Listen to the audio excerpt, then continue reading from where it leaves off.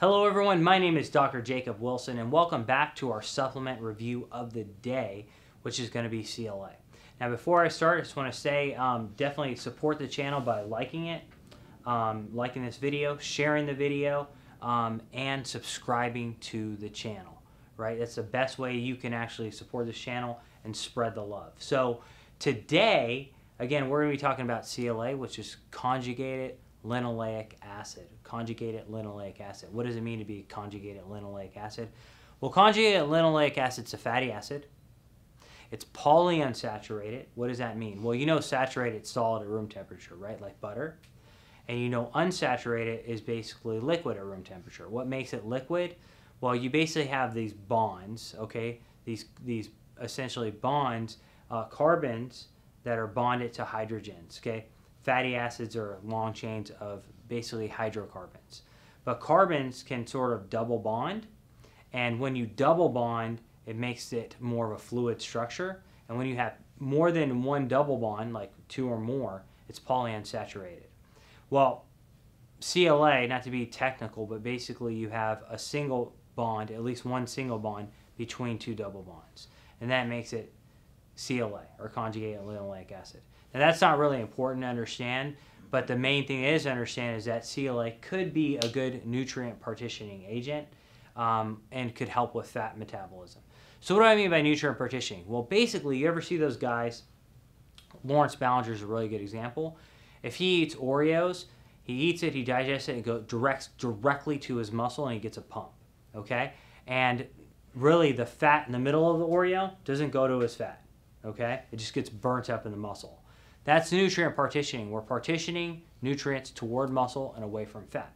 Okay, so how do we do that? Well, it's an enzyme called lipoprotein lipase, and what it does is when fat's circulating around the blood, it basically is an enzyme that chips the fat off of these circulating globules of fat, and it chips the fat off so it can go into fat and get stored as fat. Well, it turns out that CLA inhibits lipoprotein lipase in fat tissue. So this means that you can't, it's not as easy to partition fat toward fat tissue because you're stopping this enzyme, which is basically taking fat off uh, of these large globules in the blood into fat to be stored. So if you're stopping that process, it's harder to store fat. You're to be more like Lawrence Ballenger. So that's one way it helps burn fat, um, and I think that's real important. Also, uh, in one of our supplement reviews, we talked about L-carnitine, but it actually seems that it increases um, the carnitine transport protein in mitochondria as well. So that can help you take fat, fatty acids and put them into the mitochondria to be burned as fat. So all that said, does it work? Well, studies show a low to moderate effect of CLA on fat burning. In fact, a meta-analysis actually showed um, anywhere from 0.2 to 0.45 pounds of fat lost per week.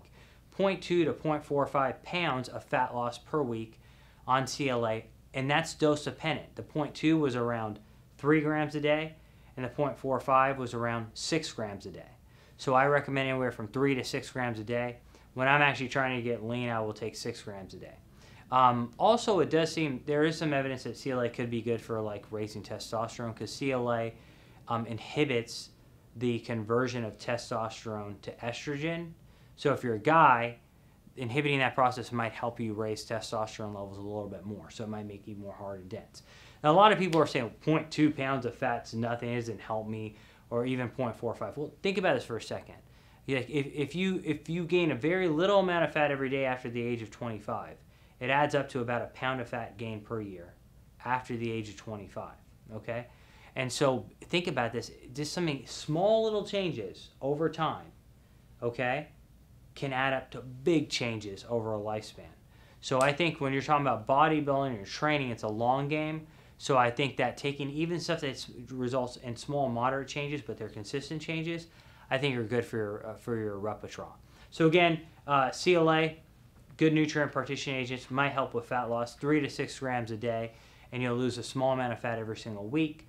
Um, and it also may help with testosterone levels and keeping you more hard and dense. Thank you so much, guys. Again, make sure that you subscribe to the channel, hit the like button, and share this because the only way we're going to help a lot of people, we work really hard on these videos. We spend a lot of time to help you, but uh, our goal is to help as many people as possible. And the best way for you guys to do that is to share this and subscribe. Thank you so much, guys. I'll see you next time.